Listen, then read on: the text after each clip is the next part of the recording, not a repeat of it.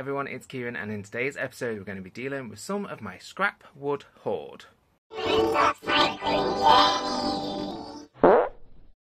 First up, it's making some apothecary drawers. They are super handy for storage and they always sell really well. So I'll show you how I make them. So I've got this old piece of scrap wood and I'm just going to cut it down into four equal parts on the chop saw and uh, build a little wooden box with some brad nails.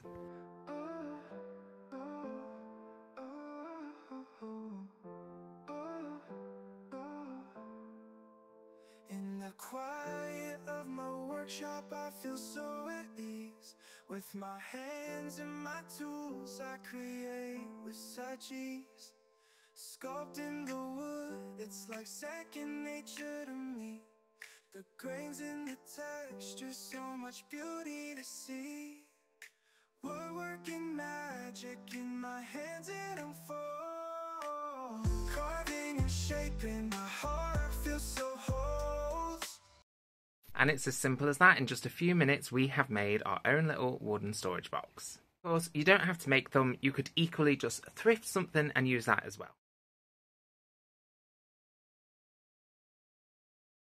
So whenever I make these, I like to add a little bit of texture onto the front with some Ferny Paint texture medium and mixing it just with a bit of antique white paint. Yes, we can hear you. Hello. Hello, we can hear you. Calm down. So I just need literally a blob of antique white and then the texture medium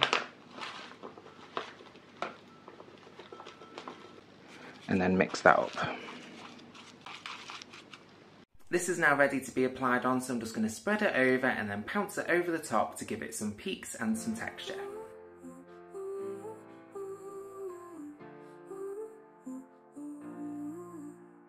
Crafting is my escape, world of endless possibility Where colors swirl and shake the stand, setting my soul free With every stitch and every line, I feel the magic rise In a world of my creation, where my spirit truly flies And whilst that's drying, I'm going to be careful and I'm going to paint the inside with Black Knight Ferny paint and on the outside as well.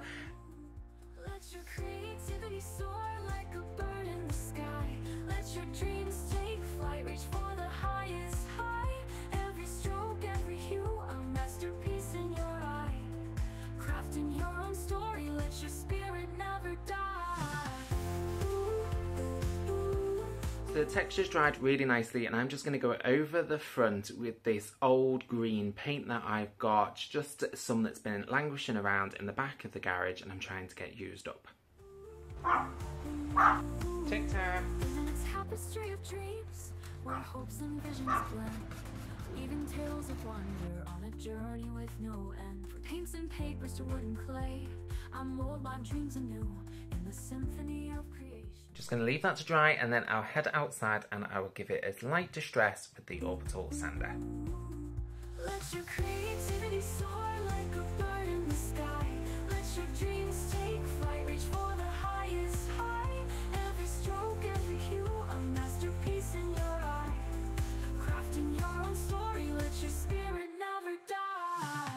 Next up we need to go through my hoard of drawers to find a suitable handle for this project. That is what is in this cupboard behind me whenever I do my live videos.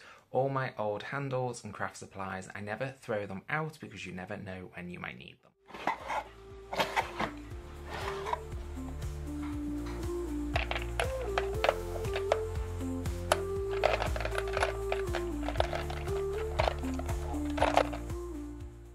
Just before I add on that handle, I'm going to give this piece a glaze finish just to add a little bit of dirt and age onto it. You can make your own glaze by mixing a little bit of acrylic paint or good quality paint with um, sealer and that will make a really good glaze.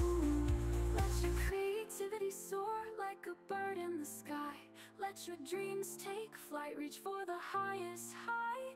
Every stroke, every hue, a masterpiece in your eye. Crafting your own story, let your spirit never die.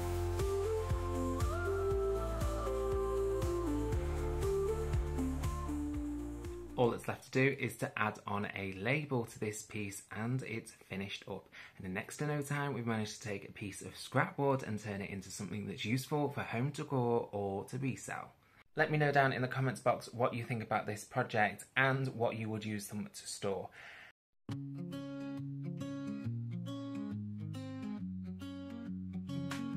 Upcycling, recycling, revolution in the making. It's Kieran's upcycling journey, a show that's meant to inspire. Every old he transforms, sets our lives on fire.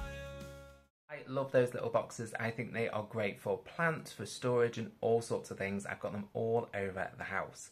But our next project is great for our four legged friends.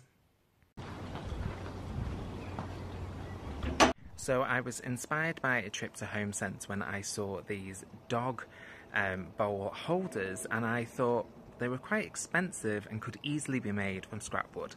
So let's try and give it a go. I've picked up two stainless steel bowls from the equivalent of the dollar shop and I am just I found this old piece of scrap wood I'm going to draw around them they've got a bit of a rim so that they can sit on top of the wood so I'm going to draw slightly inside um, the rim and then cut that out with a jigsaw and then that will hopefully allow my bowls to sit nice and flush. Living my best life, feeling so free. Creating art with every breath in me. Whilst I figure out what the next move is, I'm just taking a rest in one of my little eBay finds. I bought this chair for 99p and it needs some love and care. So if you fancy seeing how it turns out like, make sure to hit up that subscribe button. Next up, I just need to add a couple of legs and maybe a brace support in the front and possibly the back as well.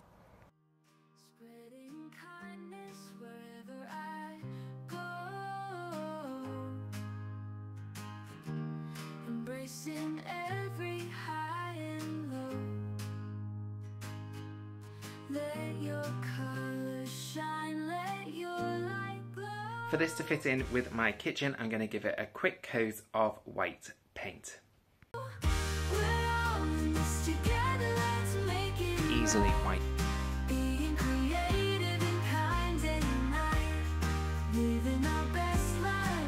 Going to give it a distressing with the orbital sander before I seal it with some hemp oil.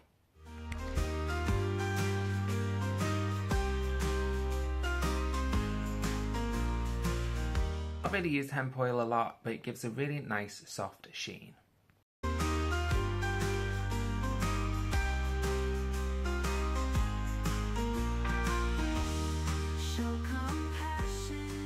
All that's left now is to see what the dogs think of it. But as you'll see, I might have made a little bit of a mistake.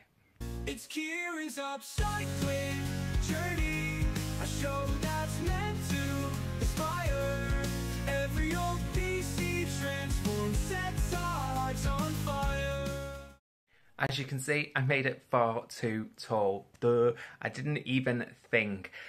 My poor little dogs were wondering, how am I going to get to that food? So at some point, I need to cut those legs down so it's a bit more suitable for their height. So maybe check before you go through all the effort of finishing it so you get your measurements correct. Let me know what you think about this scrapwood project down in the comments box below. Even though the execution wasn't quite 100%, I still think it's a great way of using up some old scrapwood and possibly making something for yourself or a gift or to resell. My next scrapwood project is perfect for adding an extra embellishment onto a gift. It's making a scrap wood gift box. So I found this old piece of scrap pallet wood and I'm just going to cut a top and a bottom that the same size and four sides and attach them together with the brad nailer.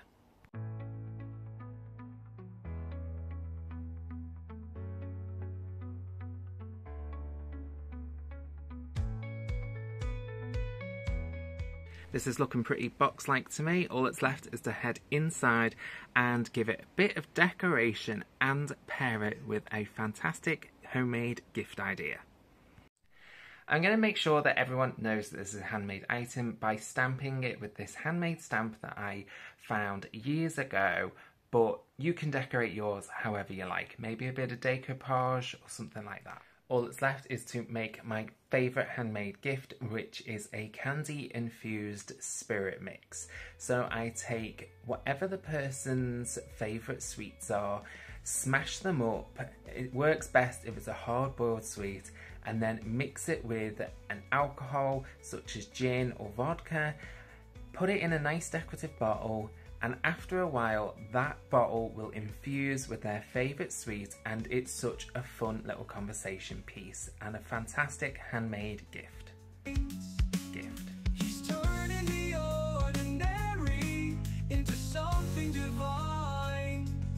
One man's trash is another man's treasure. It's And that's my three scrap wood projects. I hope you really enjoyed this video. Let me know which project was your favourite and if you'd be tempted to make any of them.